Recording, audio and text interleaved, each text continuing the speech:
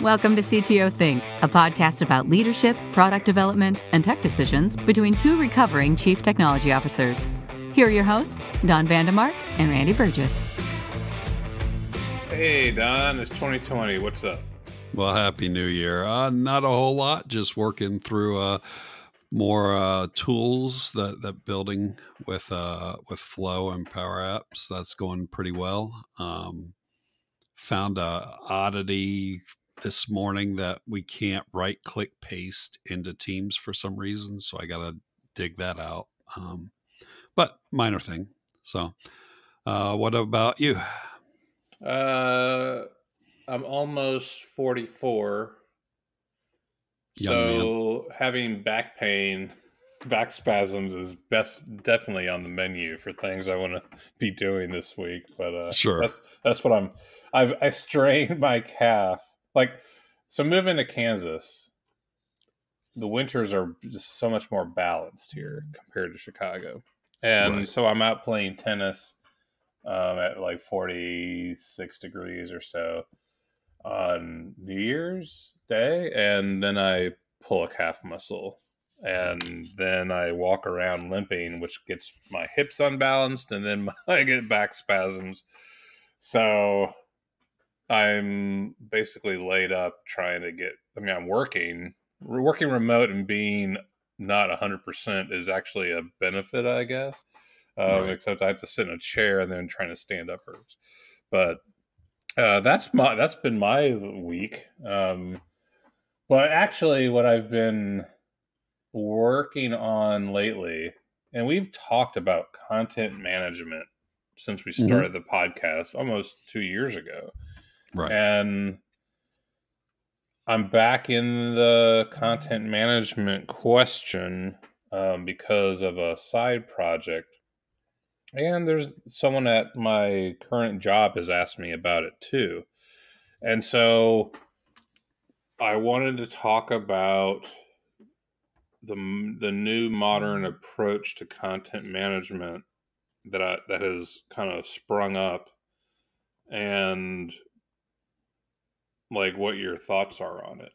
Um, so this is this is beyond WordPress and beyond uh, Drupal. This is the new stuff. Yes, and a little bit of old. Okay. So let me explain. So you and I both started in a in the content management space around WordPress and Drupal, and the goals of, the, of those softwares is to provide a complete um almost a complete full stack of a theme system a a developer system for customizations and a backend database system for persistence and a almost a server I mean, the, the software acts as a server of sorts. Right. and it allows an interface, an admin interface for non technical users to manage that content, to right. maybe change the theme, to tweak around SEO, that kind of thing.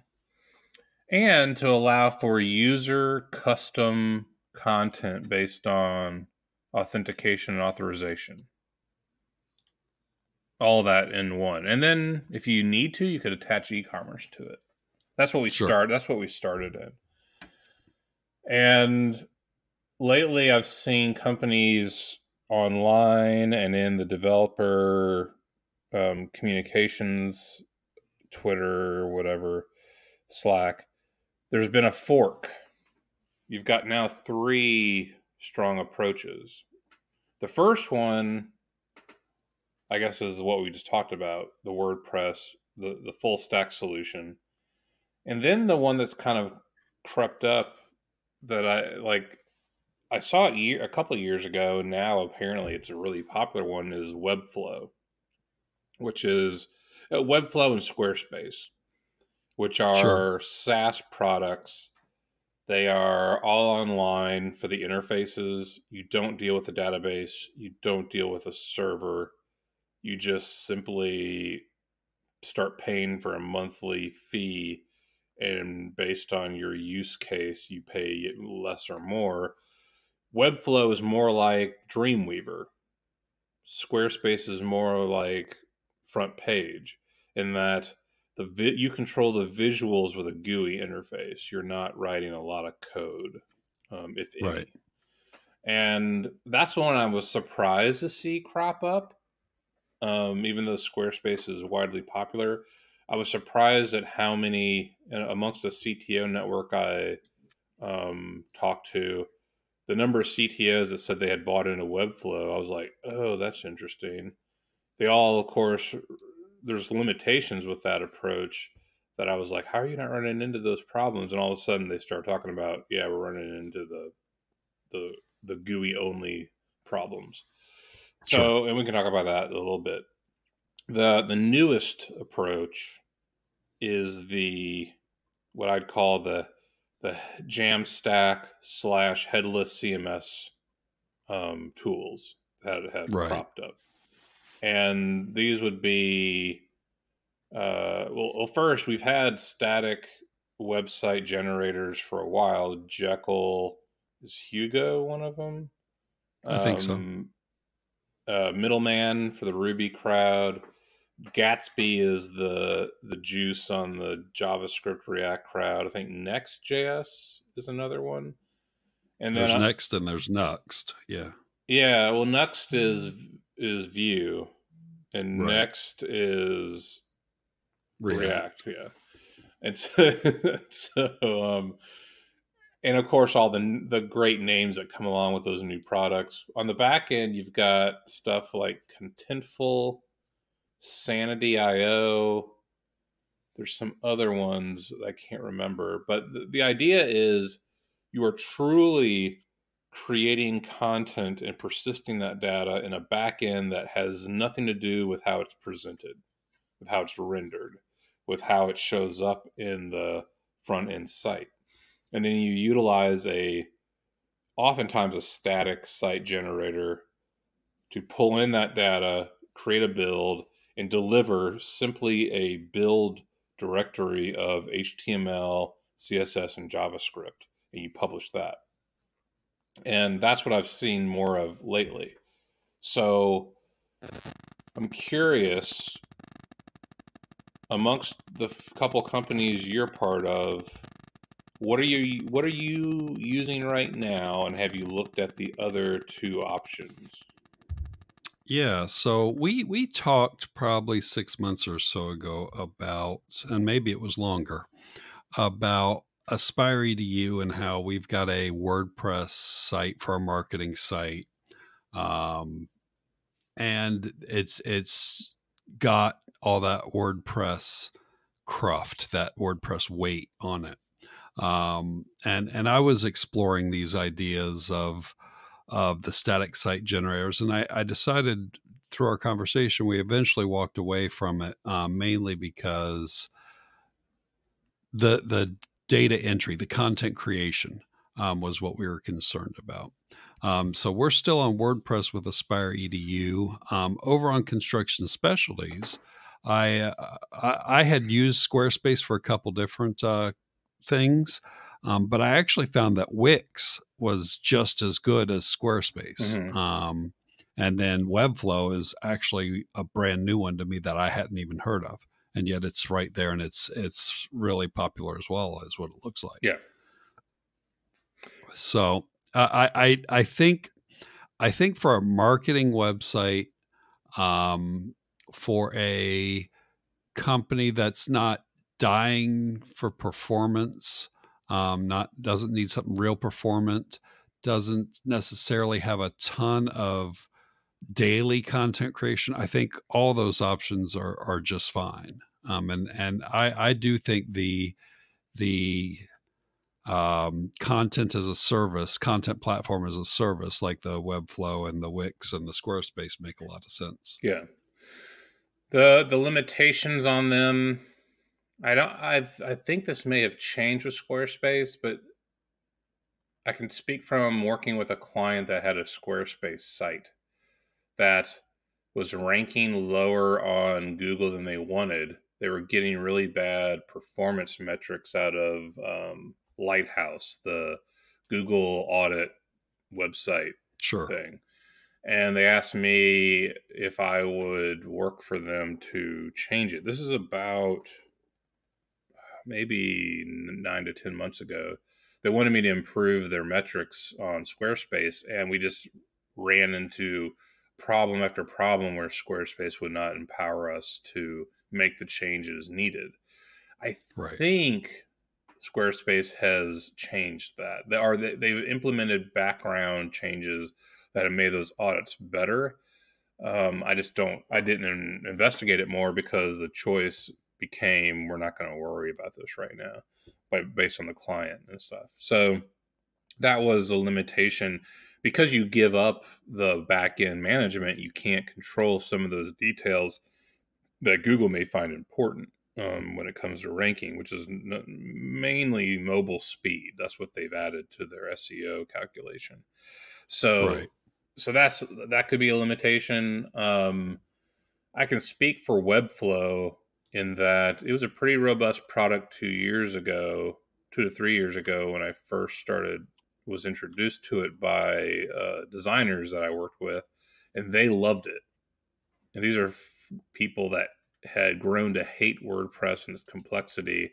They didn't want to be devs; they just wanted to do what they knew how to do the best, and they started moving their clients to Webflow. Of course, they run into once they they're also designers, so then they start doing new fun stuff, and they find they hit the walls of like Webflow is not designed to let you be that custom, and that's what I mean. Squarespace is by far very you're in a box, and even paying them more money won't give you access to every tool you want as a designer. Webflow is somewhat like that too. Um, but they, I think they were balancing out the the ease of management with that, um, and the their clients seem to be happy with it. the The question is, I think if you want to, I think Webflow ran into problems with e-commerce.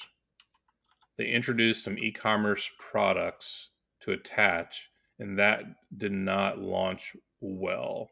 But I don't know the status on that. So it, all, it kind of depends if you're selling anything on the web too.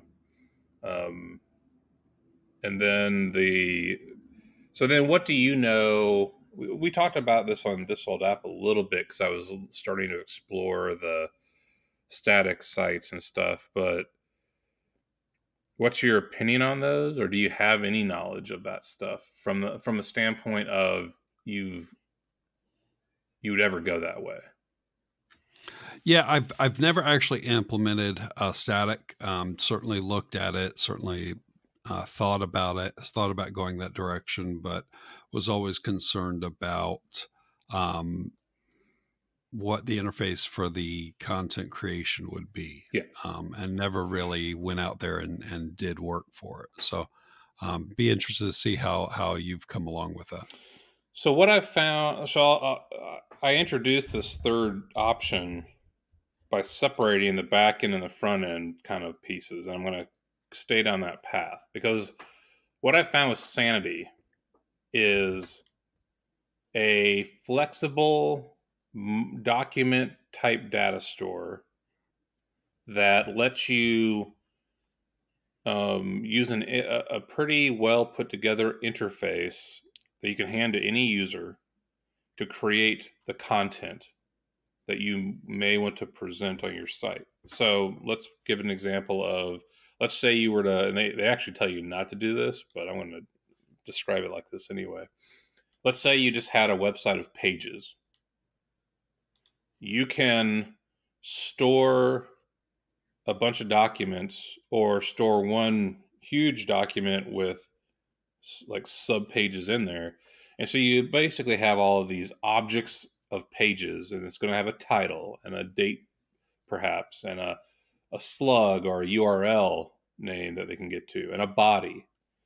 And you want to be able to te- tell your users, hey, here's the home page, here's the contact page, here's the about page, here's the page about our products.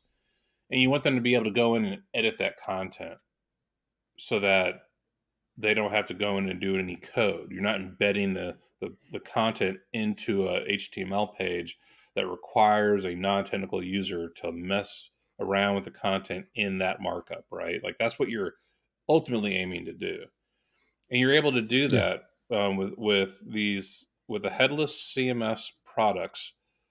The approach is that you are telling your users update your content way over here on your right hand and we'll have our development developers working on the left hand handling the ability to pull that content in create those pages in the build process and d- handle deployment. You don't need to do any of that other stuff.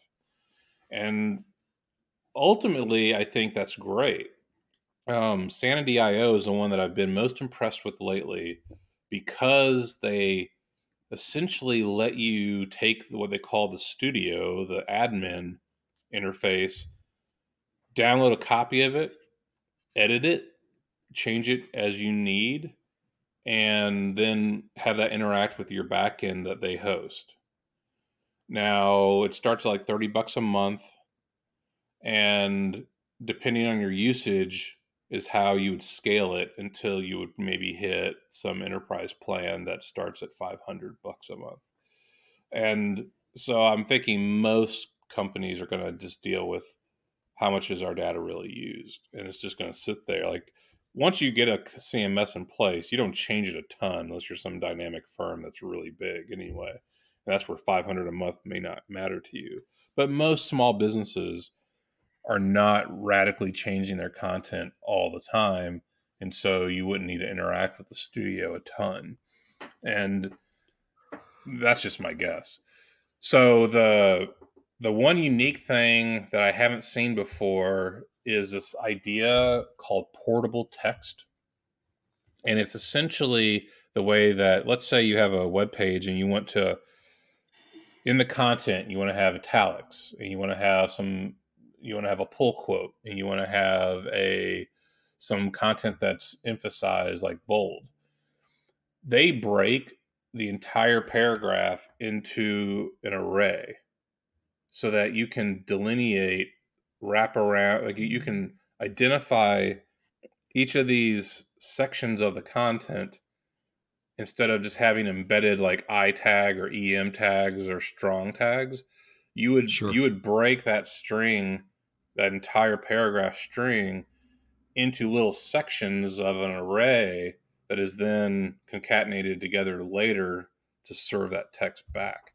And that gives you hmm. power as a developer to embed things, perhaps skip them on certain media, perhaps use them a certain way on others to ignore that section and just say, no, just make it text. Like it empowers you, it empowers the content manager to say, I, this is important content that should be handled differently. And it allows a developer to just say, I want to do something different with this, or I'm going to just make it normal text. And that's really powerful. Like, I haven't seen that before because usually when you give a user multimedia, HTML, CSS styling access to a block of content, that's what you're getting, period. So it's a semantic. Is it? Is, I think this is a term. It's a semantic approach to managing text content. So you're describing what the content is, and then another medium can pick up and style it and manage it how it wants. Versus how, how good. How easy is it for for an end user to use the portable text? It looks pretty easy. I haven't I haven't messed with it a ton. I've seen the con- concepts of it. I've seen sure. it broken down the back end more than I've messed with the interface. But I like what they're trying to do. I get what they're trying to do there, I guess is what I'm saying. And so that's what I liked about Studio or the Sanity is that they give you this approach for custom interface admin interface that a developer can manage and this portable text approach, which is open source. So I could take this portable text, I believe, and implement my own admin with it, at least right. from what I can tell. It's what it looks like. And I just I really like that approach because every time I run into problems with CMS is that I give a user some kind of like full um, editor access to content, and I'm stuck with whatever they give me. They make that text green. I'm not. I, it's hard to strip it out everywhere. And I'm like, I don't want green as the text there. Like, I want to more. I want to know more that the author had a point of this needs to be emphasized. You follow a, a theme approach to it that the build process comes up with. So I haven't looked at a lot of the others. Contentful was one. They seem to be more of a black box, and that's what I don't like as much as a developer. I want less Webflow and more hands-on access to stuff. But if I was right, but if I was not a developer, I think something like Contentful probably is good in that it takes away, it abstracts the complexity I don't really know what to do with anyway. So then we move to the front end, and what I've been looking at a lot lately is Gatsby. And have you ever messed with Create React App? Yes, uh, when I, whenever I would when I was you know toying with React, that's yeah.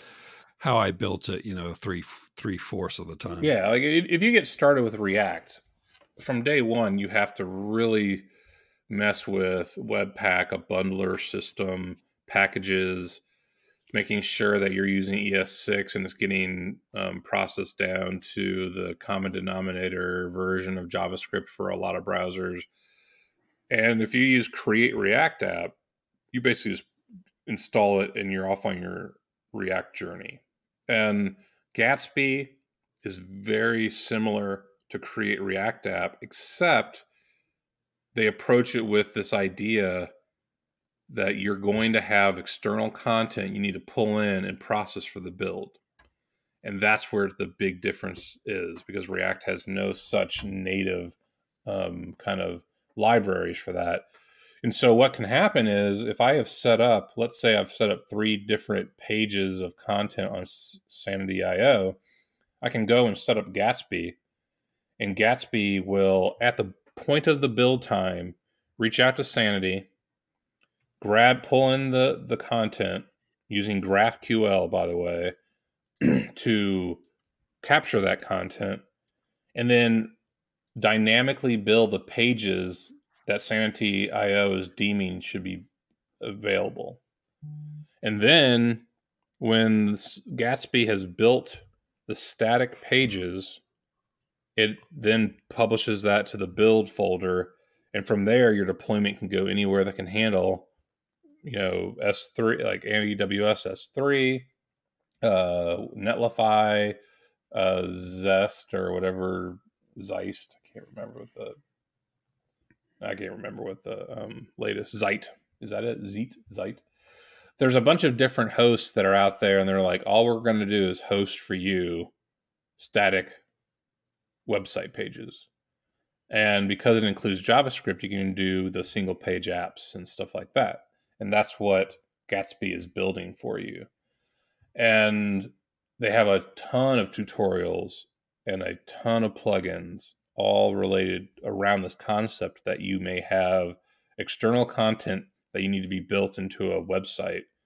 And gatsby will you can plug in gatsby to build that to build your website utilizing that external content. Um, what i've played with so far it lets you build templates for pages. It lets you build dynamic react pages too. So if you want to build a form like a contact page if you want to build an app that utilizes authentication. You can you can have static you can have your static pages that are built off of your sanity Sanity.io. You can go in and create a, a an app at a certain path that will work like a React single page app that utilizes code and everything. So it's in a way it's dynamic, whereas you have other parts that are static and built by a content management system. And then the the last part is oh it handles it definitely handles like assets like video images and stuff like that to some degree um and it does a lot of optimization around images that I used to that used to be a pain. So if you have a high res image that Apple wants to have like two times the the depth for its Retina screen, you it will take that image and give you all the versions that you need um, in one like one build, which is pretty cool. And then I'm trying to think. There was one other aspect I really really liked. It handles the it basically Gatsby builds to a progressive web app, so you get the benefits of everything with those in terms of setting up caching and a service worker and anything you would want. You could basically make an app out of it if you wanted to. Oh, the the, sure. the last thing is if you've ever run a blog and you don't need styling in the blog, you just want like markdown related type of headers and structure you can easily create a markdown blog like we've done with Jekyll, I think. Um, and all that at the same time. You could have the markdown blog and the Sanity IO content pages and a developer's custom React pages um, hmm. all in one. And I've seen that work because I was I just basically was making a Frankenstein tutorial just to see if I could make all this stuff work at once. And it was not that hard. Like I got little hello worlds for all these concepts I just talked about in roughly a half day of time.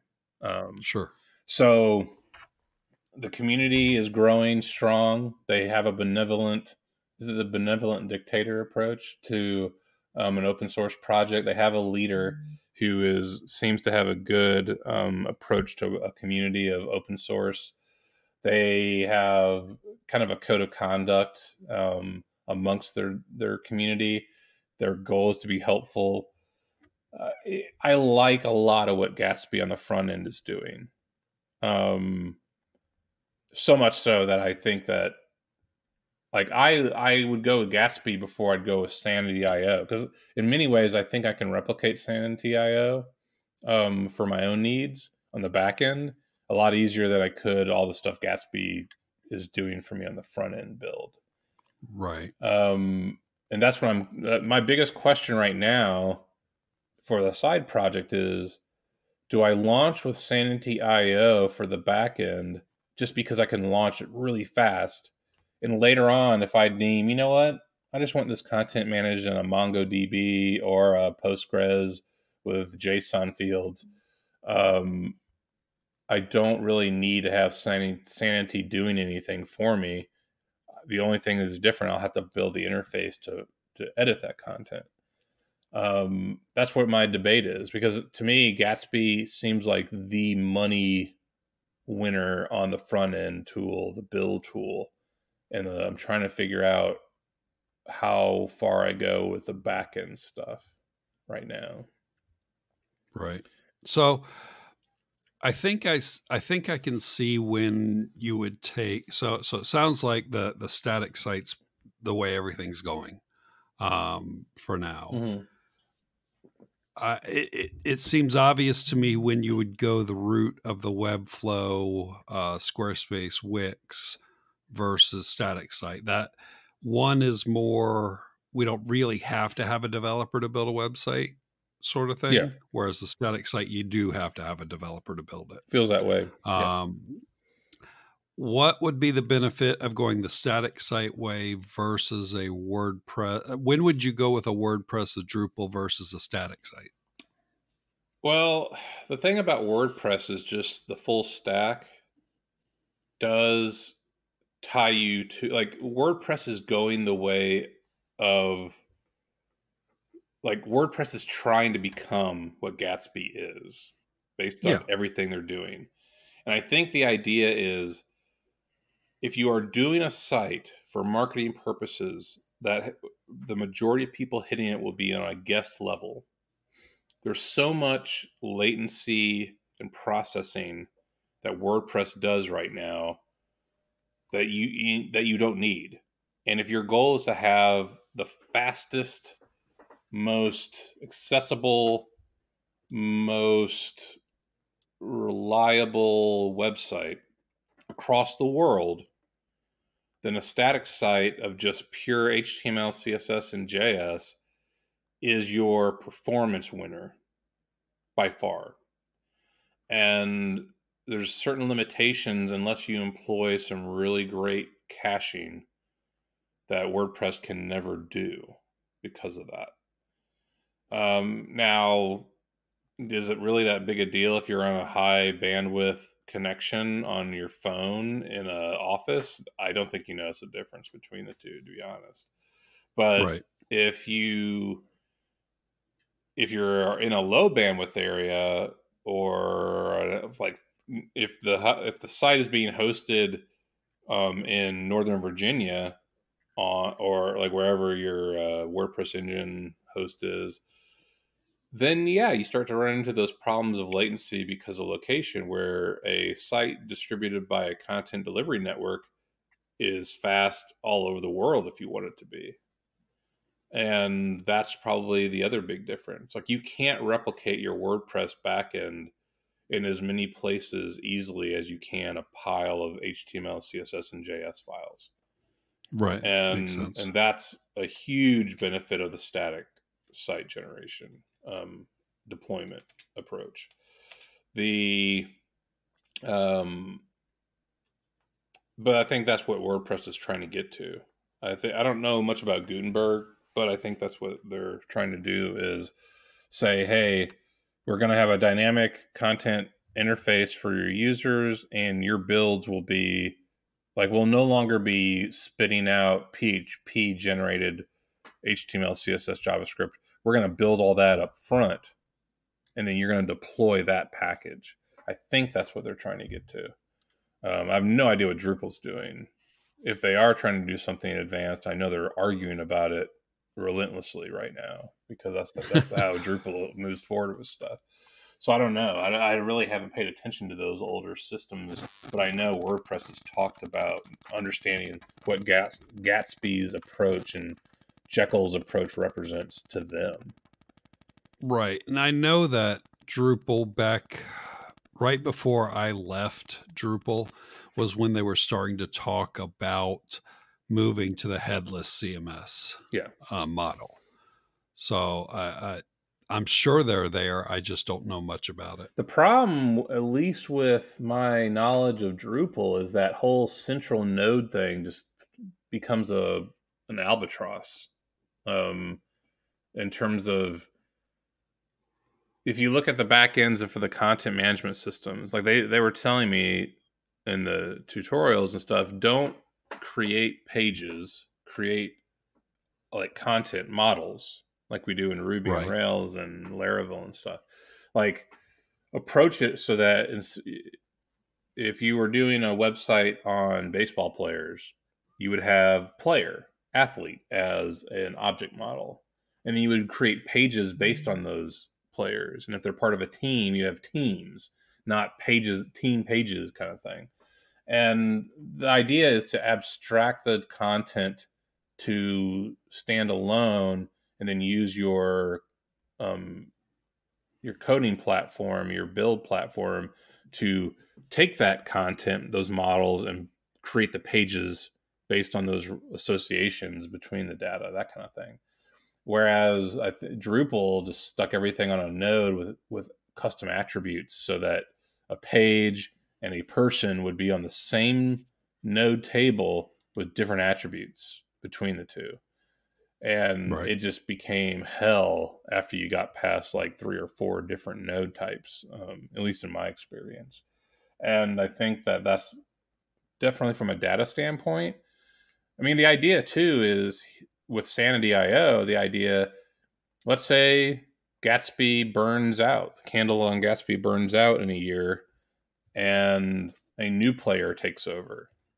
So now you've got a brand new um, type of development system that we haven't heard of or thought of before. Well, your Sanity.io data is completely separate. It doesn't care what front end does with it. It's just got the content, and then your new your new development front end starts from scratch but you don't have to go to your content team and go, let's change all the content once again for this stuff. You're just completely separate. I think that's a and that's what WordPress is trying to get to because so far, so much of their theming and stuff has been built into the back end, um, storing CSS in the back end and stuff like that.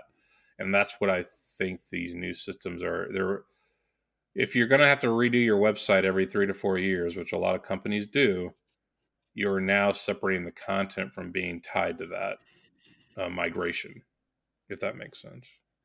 Yeah, and and I think it's it's inevitable that it will be there will be something new in three to four years. Uh, it, it, it's just cyclical. Everything works that way. Yeah. Um, yes, Drupal and WordPress have been around for 10 plus years at this point. Um, but they've moved from being the platforms that all the bloggers use to being enterprise systems. Um, and they're trying to get back to simplicity as well. But things change. Yeah. And having that data being as portable as as possible is is a good thing. Um, I know we always said we can we can extract your data from Drupal and give it to you. That's that's not an issue.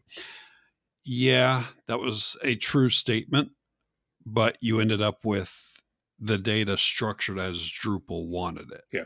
So anything you wanted to do with it, you had to write um, scripts to restructure the data the way you wanted it for for a different system. Yep. So, um, if portable text takes off, that's one way of structuring things. That's not necessarily data, um, but to some degree it is. Um, so, interesting. So, well, I'm I'm glad you've gotten to where you've been able to dig into this because I knew it was out there and I knew knew things were changing, but I'd never had a, a project that I need to implement anything on the new CMS. Yeah, and I feel like, like the next question is okay, what if you have a company and the content must change based on the user? Because that's what a, a static site doesn't play f- well. And that and and so that to me you still want to have your headless CMS. You still want that because right. You can still pull in the data. You can still create a new front end that is dynamic that pulls in the data from the back end based on the user. And it's still going to have latency because you got to build it on the fly, so to speak, in most cases. But you're going to, to have the flexibility of you tell the content team or the executive in charge of just writing stuff or whatever hey, this is your interface. It never changes. Here's our front end.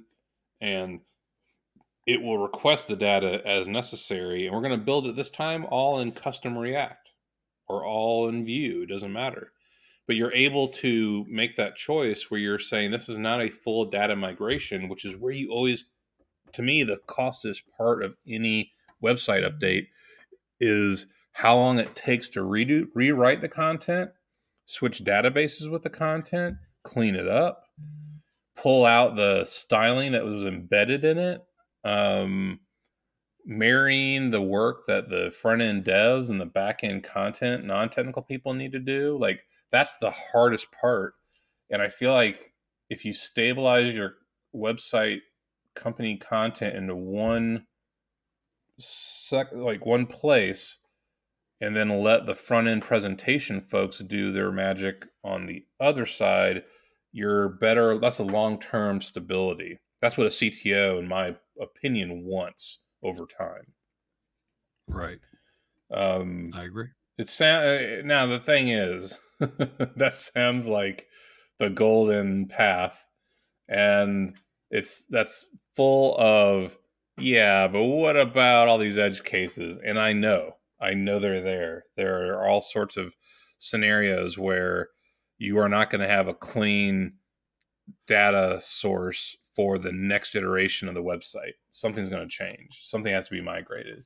But I think if you, from day one, say, we are not going to allow the design to be stored in with the content data, you are making that long term choice for less pain when you do those updates. That's kind of what I'm sure. talking about.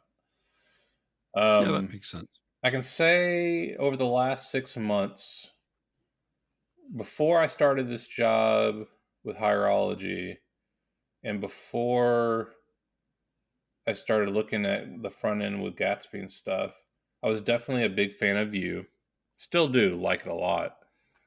But I feel like I just have to side with React across the two. At least still at least still for now. As which one has the most robust use and community? Sure.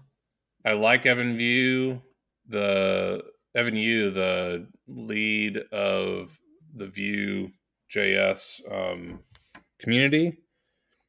I think it's the easiest one to learn. I like their approach on the packages and such, but I feel like React from a from a just a how much work is being done by how many people, Facebook and all their own product issues aside, React is still the most powerful, robust um, JavaScript front end framework to use. That's just yeah, I think that's true. It's just a question of do you really need all that? Yeah, yeah, or yeah. does you or does Vue give you what you need? Yeah. So that's a that's a whole separate discussion. Totally. But seeing Gatsby's power has has has somewhat made me think about it again. Um, Sure. and as I, without a doubt, five years from now, I'll still be we'll still be talking React and Vue and some other VR based framework that crops up or something like that. You know, so I'm just not sure. You know where it all goes, but anyway, Yeah. that's that's my uh, CTO take on the the the the new uh, uh, three approaches to CMSs and what people in those in our CTO like roles would be considering. I guess. Interesting. I'll be, I'll be interested to hear uh, if it if your project goes to completion, goes into production. What what else you uh, found along the way? Yeah, I think from what I hear, the person that's really like running it um, from the business side says that he's got some interested people. So I don't know that I'll be coding it versus his own developers coding it, but um, I have a big say in the stack, and I think this is the the Gatsby sanity approach is our ability that will provide the fastest way to launch. Doesn't mean that it Right. doesn't mean we would stick with sanity as the long term backend until I know more, but it would get us out there, and then we could extract the data into our own store because Sure. honestly the the most the best thing about sanity is that front end piece for editing the data in terms of the storage of it i mean it's like a, just a big mongodb po- like object or something it's nothing magical um, in that case at least that i can tell so anyway that's all i got around the cms question Well, cool. All right, very good. Then uh, then we will uh, we will catch up again in another couple weeks. all right later Thanks for listening to the CTO Think podcast. Show notes and previous episodes can be found on our website at ctothink.com. Reviews on Apple iTunes are always appreciated and help promote the show. Patreon contributions help us to produce episode transcripts, which allow people that are deaf or hard of hearing to access the show. If you have feedback, ideas, or want to be a guest, please email us at hello at ctothink.com. Show music is Dumpster Dive by Mark Wallach, licensed by PremiumBeat.com. Voiceover work by MeganVoices.com. You'll hear from us next week. Thank